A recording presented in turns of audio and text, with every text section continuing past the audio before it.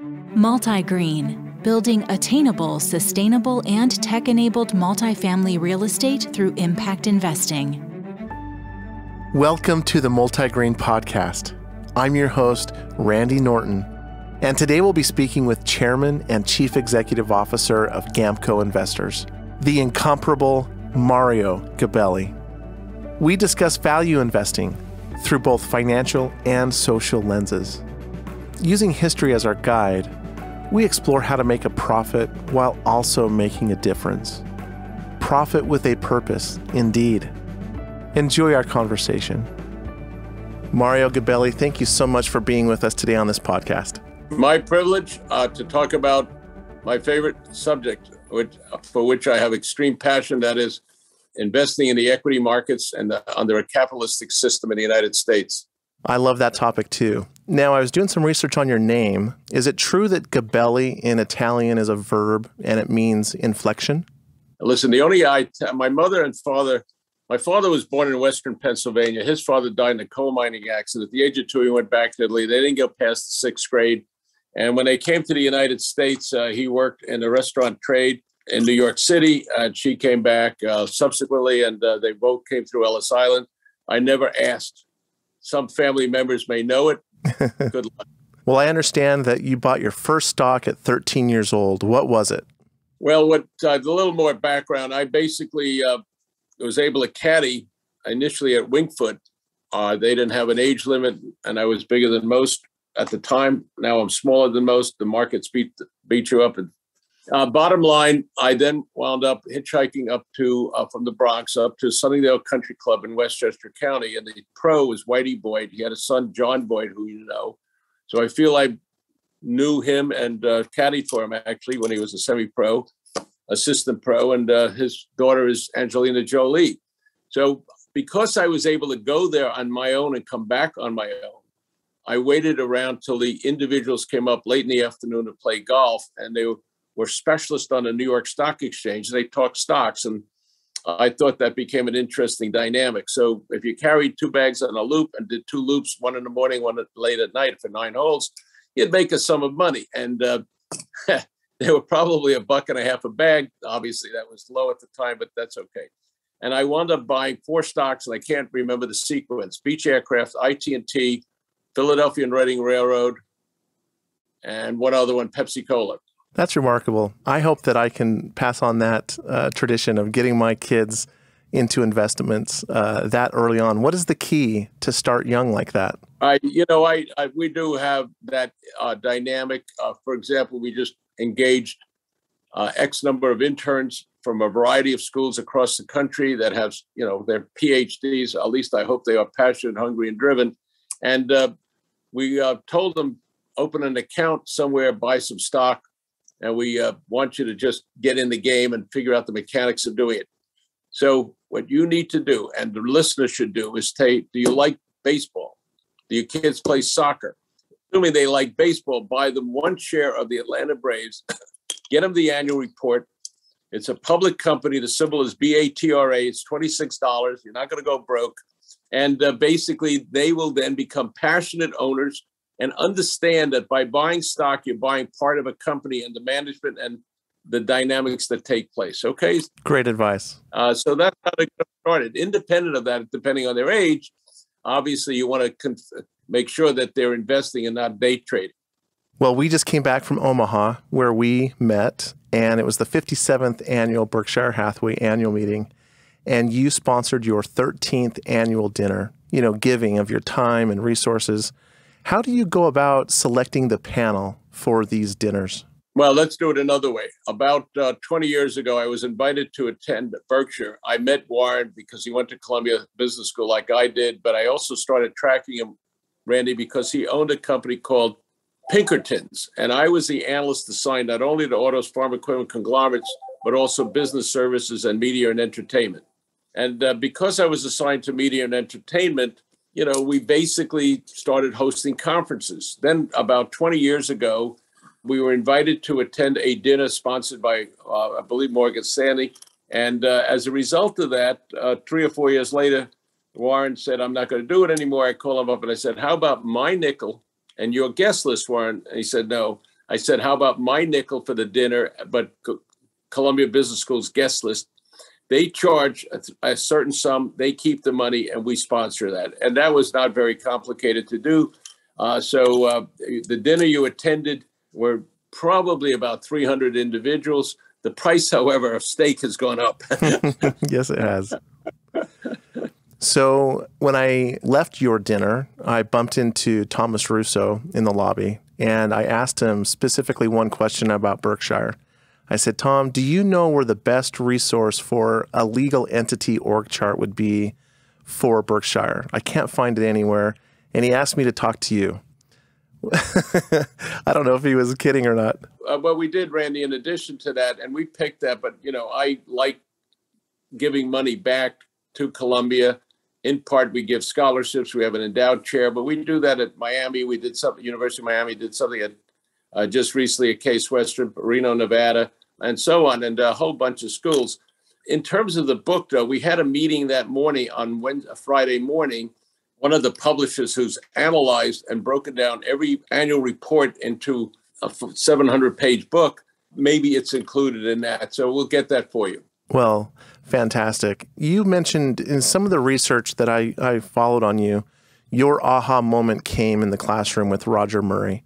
You said this is where the sun, the moon, and the stars aligned. Explain to the listeners who Roger Murray is and why that's so significant. Yeah, that's a great uh, question. I was buying stocks and reading the Wall Street Journal and Business Week starting at the age of, yeah, you know, seventh grade, eighth grade. I did it in high school. And uh, we would then go out and uh, buy the Journal American in New York, which is a late evening newspaper, to get stock prices. Okay, you either had to go to a brokerage office. There was no equivalent on uh, that was available, as is today, we can get instant results 24 hours a day. And so uh, I took an account. I was an accounting major. I had a philosophy minor. I knew I wanted to be in the investment business. I had decided right after uh, Fordham undergraduate, where for a variety of reasons. We're a very entrepreneurial place for me, and uh, basically wound up going to Columbia. The first course I had with Lee Cooperman, Art Samberg, and a couple of other individuals was with Roger Murray. And basically, I didn't know what I wanted to do in the investment business, but it said, here's what you do read Graham and Dodd, understand security analysis, understand how you can gather the data, array the data, look at the fundamentals, look at a company's uh, annual reports, look at the history, look at the dynamics, and that was it. Randy, it was like, as you point out, very nice of you to call it the aha moment. I like to say everything came together, and I said, I want to do research on public companies as what they call a security analyst. I love that title, security analyst, financial analyst. That's one of the one of my favorite titles. It clearly depicts what you're doing on a daily basis. My question to you next is what is value investing? You sit in the classroom with Roger we learn all of these um, jargon, margin of safety, catalysts, you know, screening and searching and change, specialization. How would you define value investing? Well, what we do today, and I have X number of analysts that work for us, let's call it 30 or 40 out of uh, 170 teammates on a global basis. We t- look at an industry. How does that industry react to changing economic environments? What is the company's position in that industry? How does the management allocate cash? So we get an annual report, we get a 10K, which is a document that companies publish annually, and then where they're located and send individuals to go out and visit the companies at their headquarters. So we do what we do is to dig in and start thinking as to how owners would want us to be interested in the company. How does management allocate cash? What are the challenges? We describe this as a way for an individual that wants to be entrepreneurial to figure out whether they want to buy the business. Okay, so large companies like Apple, you you know, you're not going to be able to buy it, but some companies like XYZ, uh, located in Milwaukee, because it's part of an ecosystem, you can buy it. So the way we define uh, value investing, the economy, you know, if we were sitting here 120 years ago, we'd be uh, 80% farmers, you know, and then all of a sudden you had Thomas Edison, Henry Ford and you had a manufacturing and industrial revolution. Then, uh, you know, we had today an, uh, a digital revolution. And we're at the beginning phases of that. You started in 1988, 98, 99, 2000 dot com. They and the collapses that happened and the growth that happened and the incubation of ideas. So on a global basis, then you had the Berlin Wall come down in November of 1989. You had Tiananmen Square, and we decided to go global with our research and our stock selection.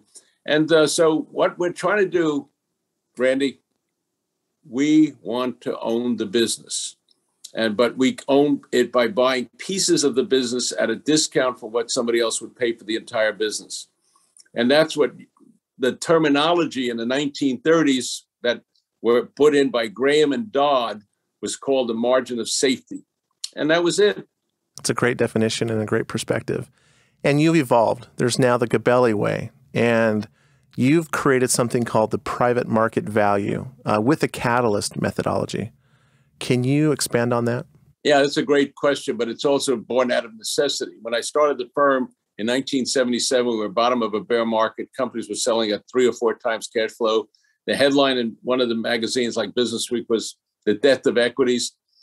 So we were trying to survive. Okay, I was making five thousand a year, down 95 percent or whatever from what I was making, and I had family members that needed support, like food, and and so we came up with the idea that there's a public company. What is it worth? And so it became the concept that if it's publicly trading, what if you could own the entire company by taking it private from an exchange?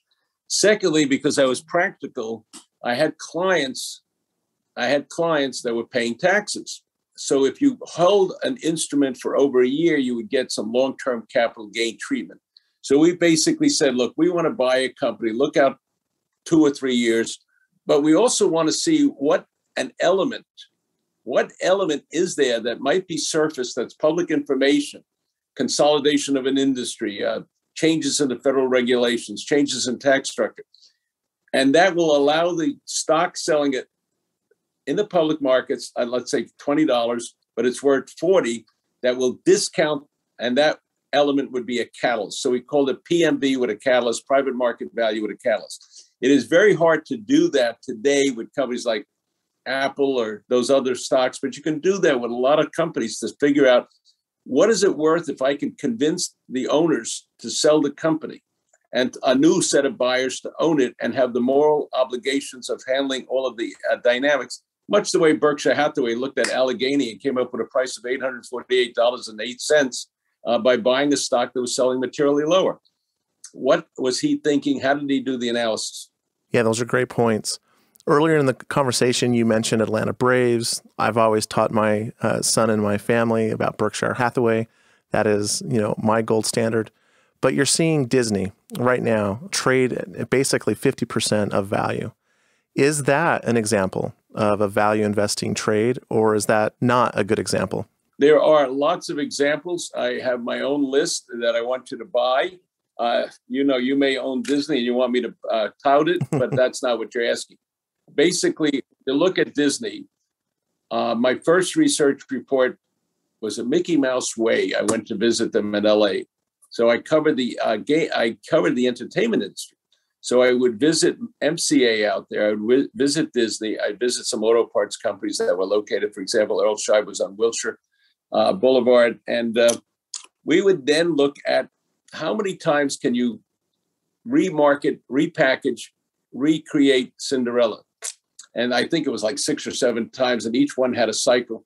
So we learned a concept that was very simple: give to the customer, the consumer, on whatever device they want to watch content, deliver it at the lowest possible cost, and deliver it on any way they and any time they want to see it.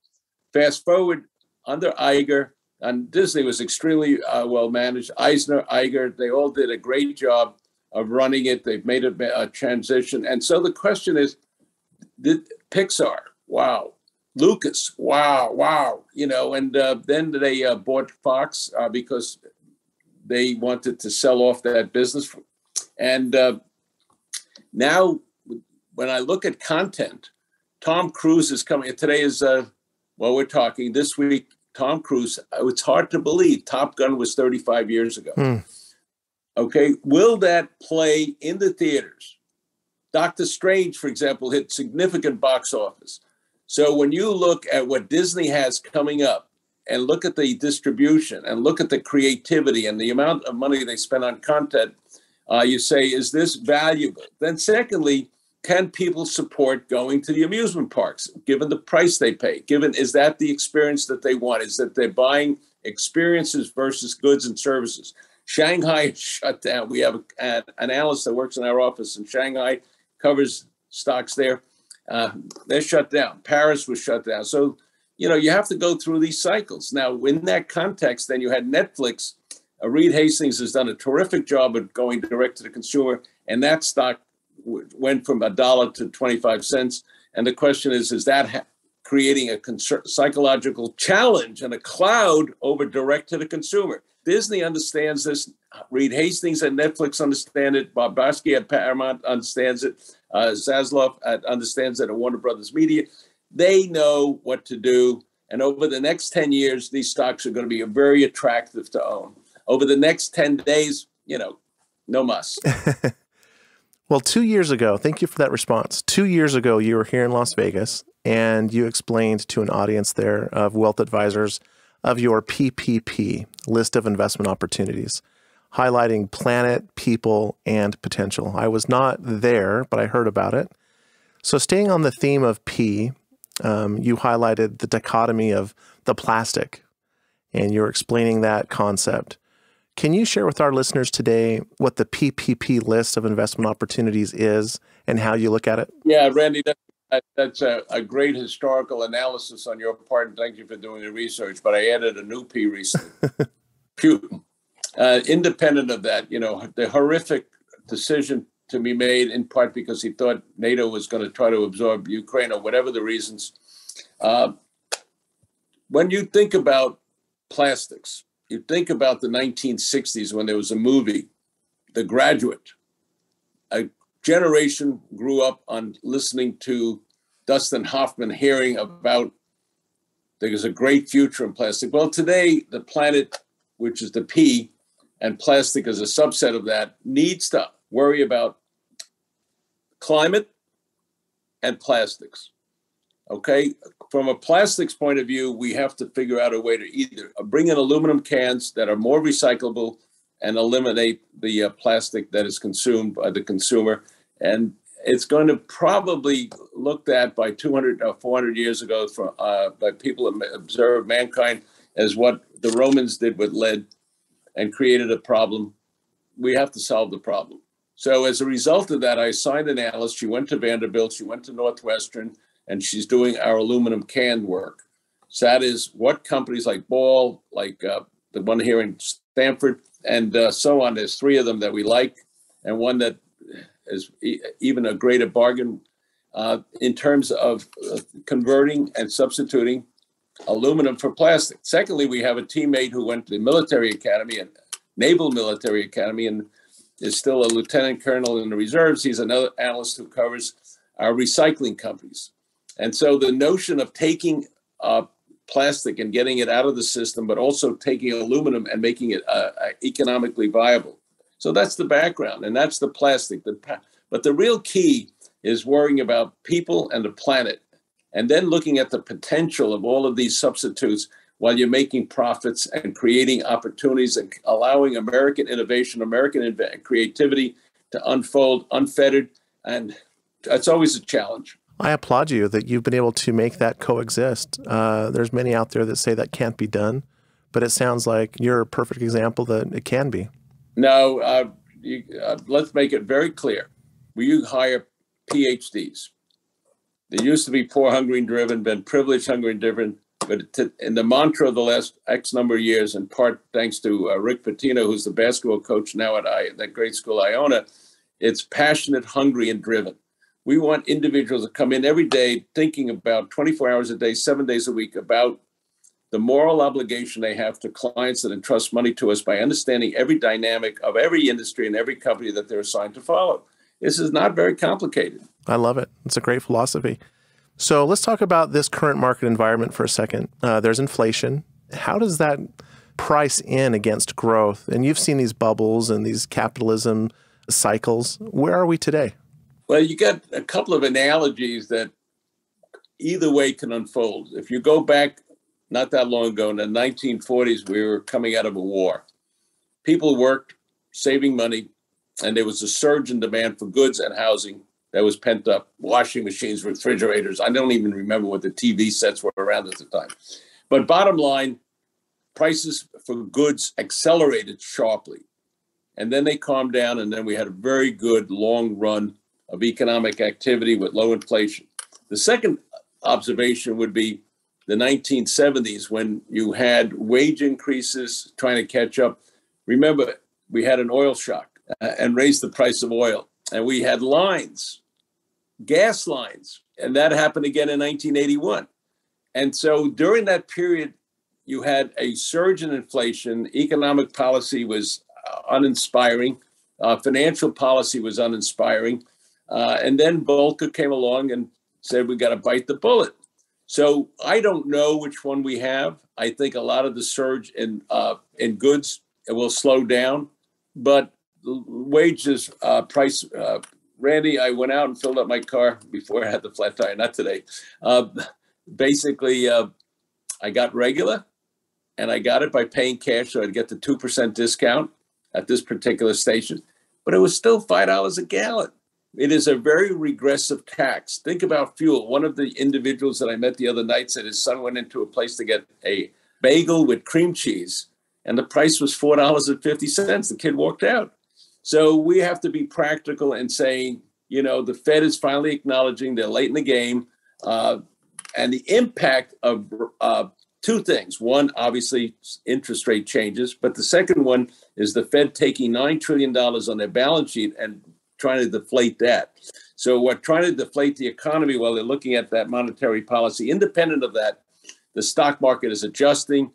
You know, stocks like Pelotons, you know, you keep going on and on. Chewy, uh, uh, and so on. Or yesterday, another one that dropped from 25 to 10 to uh, 13 this morning. You know, you're adjusting, and the market, and Mr. Market is adjusting. The one difference between my investing and the and I didn't do it in the 40s, but I was an investor in the 50s, 1950s, and uh, 70s, is that every economic cycle, including oh, oh, us, 1999 and 2000, you didn't have these ETFs that could just short, short, short, sell, sell, sell. They eliminated the uptick rule. An uptick rule meant that you couldn't short unless the stock had some stability uh, by going up in price. And that was done I can't tell you whether it was done by uh, lobbyists for the ETFs, but it's done. And uh, the volatility on a day to day, the market dynamics, uh, it's a it's an interesting new phenomenon. One of my favorite articles ever written by Warren Buffett was in Fortune, and it was entitled "How Inflation Swindles the Investor." Do you remember that article? Uh, no, there's been so many that Warren reads. All you have to do is read his annual report or listen to comments. But independent of that, I had a the head of the Bundesbank in Germany, who grew up in the 1900s and uh, 30s and 40s and understood what happened in the 1923 in Germany, wrote it very clearly. He was the head of the Bundesbank, and he joined our board, the only board he did in the United States. He did some in Canadian boards. Basically, wrote, think about toothpaste. When you get it out of the tube, do you think you'll ever get it back in? Inflation's the same way, Randy. You get it out of the tube, can you get it back in? And that's why you have to do what Volcker was able to do and what Powell is going to do. And, uh, you know, you got to tighten your belt. Uh, and the question is, what is the impact? The other part of the difference is the United States today is about uh, 25 trillion out of 105 trillion dollar global economy. You know, it's we've become a lower percentage. So, what is going to happen to Europe next year? What's going to happen to China when Xi gets past this uh, lockdowns and all these other things, and also gets reelected?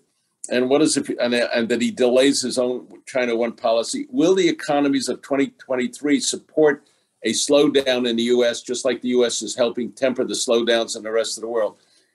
Randy, it's work in progress, and you got to connect these dots, and you have to do the following what do you do for an individual investor? And is he 20 years old and has a challenge uh, because he was in a car accident? Is he an 80 years old uh, individual that rides motorcycles? And uh, you, you're just, you have to customize what your thought process is, and you can't do it with robots. no, you can't. The robot does not ask you what a very simple question that we ask our clients for the last 50 years. What's your sleeping point? I like it. Yeah, if you worry about your net worth because the market's going down, we've got the wrong asset mix for you. And we will solve that problem thinking about you for the next 20 years or 10 years or 30 years of your time frame. It's a great perspective. In 1987, you issued a Magna Carta of shareholder rights. I would love to read it, and I'm sure my listeners would too. Where can we find that? Okay. Uh, uh, one of my teammates hopefully is listening and she'll send it to you. But the background was the following My British friends all know when King John signed it. They know it because it's 15 minutes after 12 o'clock after lunch. So 12:15. I'm I'll check that number. It basically it gave certain rights to those that were giving him advice. In 1986 or 7, and it's uh, 35 years ago, so it's not that long ago, we owned shares of a company located in St. Louis, uh, in Chicago, called Centel in the telecom area, which is an area that we have a lot of knowledge at the time. We thought the stock was worth somewhere around 70 or 75 dollars, well, private market value, materially higher than the price it was selling at. A group led by two friends of mine, Asher Edelman and George Lindemann, came along and try to start a proxy fight or somehow get involved in a way that they would like to pay a materially lower price than what we consider private market value. So, given the nature of the way we think, and given that I was the head of the auto analyst of New York and the head of the entertainment analyst back in the 60s and early 70s and have a CFA degree, chartered financial analyst degree, I said, why don't we invite institutions that own the stock to come to a meeting and share their ideas about what's going on? And we did it at the old Bear Stearns uh, probably fourth or fifth or sixth or seventh floor, wherever they allowed us to do it for no charge. Uh, basically, as the meeting ended, I got subpoenaed because I, in quotes, was conducting an illegal proxy fight. And I took it, I said to George, good luck. And he said, you know, you t-, I said, you're trying to intimidate me. It's not going to work. So he dropped it. But I came up with the idea that a priori, we will announce to the world what we stand for. For example, we don't like companies that put in poison pills. We like the fact that if you have a cumulative voting, we're not going to vote against it. Uh, we don't like you to put cumulative voting in, and just so that you'll see that, and that's what we call the Magna Carta of shareholder rights. I want to segue towards the state of capitalism. You've been very proactive in referencing Ricardo and comparative advantages, obviously Adam Smith and the invisible hand and specialization, Keynesian economics on the demand side, Friedman on the money supply, and that interesting thing the social responsibility of business is to increase profits. Now there's this new concept of stakeholder capitalism that Klaus Schwab brought out with profit with purpose. Between your Magna Carta for shareholders and the evolution of capitalism that's happening now in the marketplace, what should I expect and what should our listeners expect five, ten years from now? Yeah, I kind of refer to a cousin not mine, by the name of Darwin. and Darwin had a great line as well that you like to quote It's not the strongest that survive, it's not the smartest, it's those that are most flexible. The beauty of capitalism is that it evolves. When Ricardo came up with the idea of growing cork in Spain in uh, Portugal for goods uh, like textiles in London because each had a comparative advantage. That is, they can produce it more efficiently, and they should just swap it you know, we go through cycles. We're going to now onshore. We're going to bring back manufacturing. We're worried about the cost of goods, the number of ships off Shanghai, even though they may be coming down now because the lockdown. You know, uh, the world re- reacts. The beauty of uh, a methodology of a free market system with all the flaws of allocating capital is that it serves the customer. My first time to Budapest was right after the Berlin Wall came down. I didn't go before. And uh, I said to the guy on the Danube, is looking up the Danube River there, and I was looking up and I'm saying, what is that? He says, well, the Russians are building a steel mill. I said, you know, that's interesting. Can we? Uh, can I borrow your phone? I want to call my office. No cell phones. He says we don't have phone service.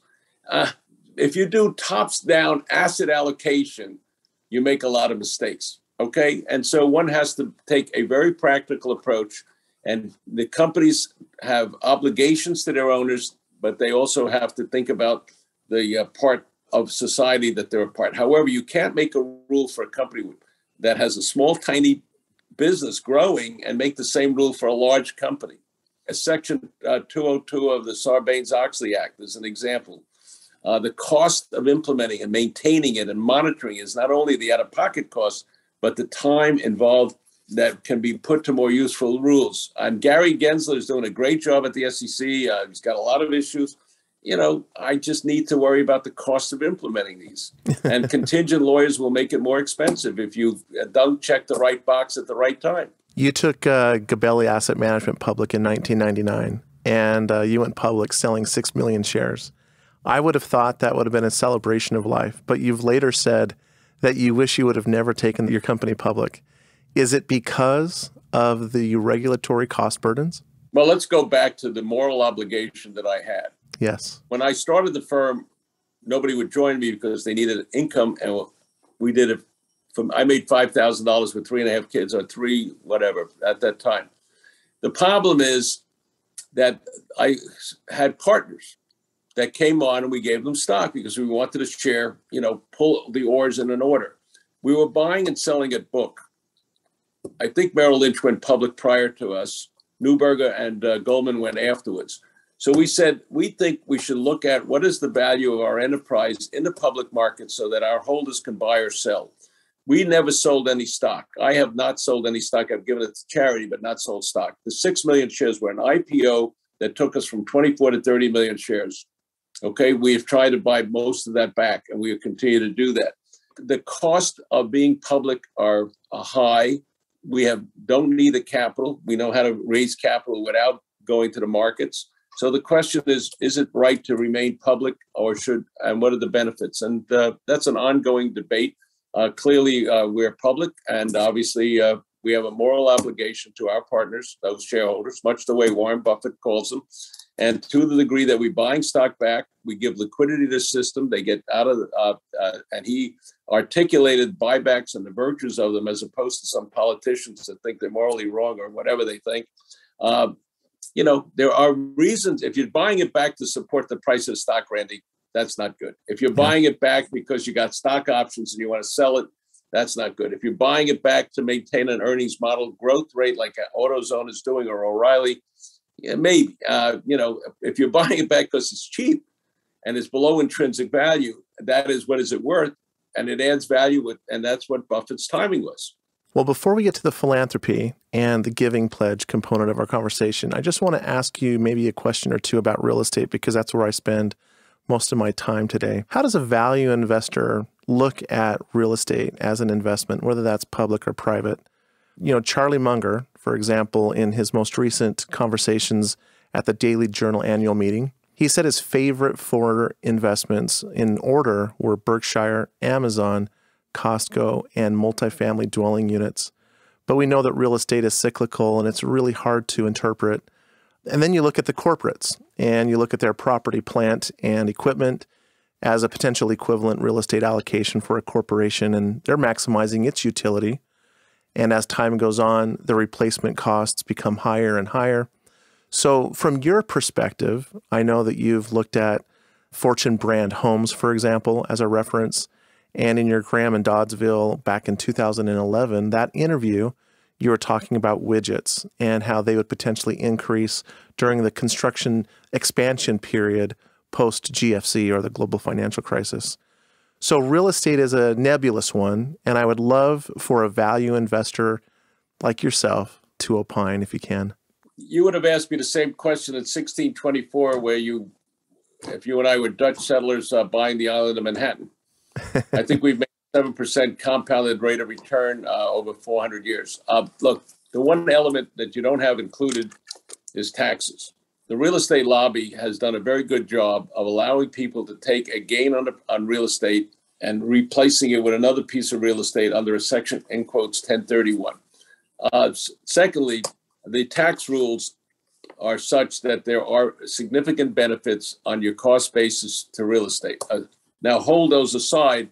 What is the value of cash flow? The value of cash flow is the multiple you pay for it, which is a function of interest rates. So if you take a million dollars that I promised you 10 years from now and tell you that interest rates are 1%, you'll pay me uh, $9.5 million today. But if I tell you interest rates are going to 8% and that 10 million is constant, you're going to pay me 6 million.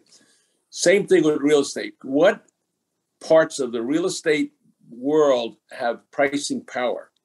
And what are the elements that change in real estate? And what are, in quotes, location, location, location? Is it Nashville? Is it Austin, Texas? Is it, uh, you know, Memphis? Uh, is it Nevada? And uh, what are the elements that go into that? And then where did people move? Now, you had, a, because of COVID and crime, a great flight from cities, and you moved into various locations. So then you're going back to New York. Real estate prices in the city of New York are rising substantially. And expertise in that area is something that we have as a core competency not developed. So as a result of that, we know the macros. And so we go in and say, okay, who's done a good job? And we buy public companies where the managers have proven their skill sets or if you believe, uh, like say Joe Paper, the real estate they have in the Florida Panhandle is extremely valuable over the next 20 or 30 years. You can buy the stock today at $45. There's an individual that has now increased his ownership to 48%. He's taken his shares count down from 100 million to 60. And so you look at, say, maybe I should do that. And so we find and have public companies that we're buying uh, as opposed to buying direct or through LPs as an LP or through opportunity zones, which you know is another tax dynamic that are certain moral obligations and pluses and minuses. Let's finish up with our final topic, which is philanthropy. And I kind of want to view this as value investing with or through philanthropy because I still think you're doing a huge value add to society. And we're talking about moral obligations.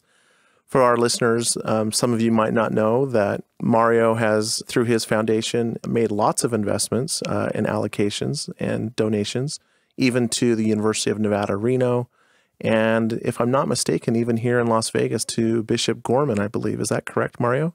Uh, no, uh, about 30, 40 years ago, somewhere there was an individual that lived in the Bronx that had a common stockbroker, and he moved to Reno. I went there late 60s. I then somewhere in the 80s got involved with a foundation there called the Wiegand Foundation. Mr. Wiegand was a Connecticut Yankee inventor, moved out to Reno and liked how people handle their own lifestyles. If you spilled coffee on yourself, don't sue somebody. You know, that kind of an approach.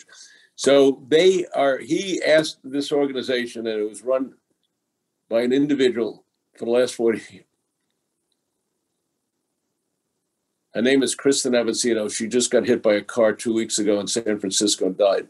Hmm, she is sorry. an outstanding woman, an outstanding leader, a outstanding philanthropic person who headed up that and gave the money to those schools in Nevada. And uh, she just died. So, in any event, that's how I got involved in Gorman.